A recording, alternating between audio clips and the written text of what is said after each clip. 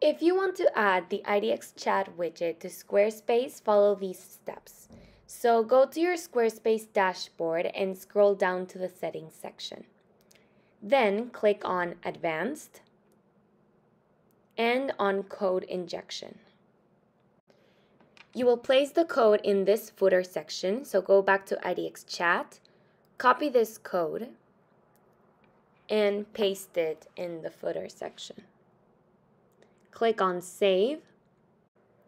Go back to your website and refresh it to see the new chat widget.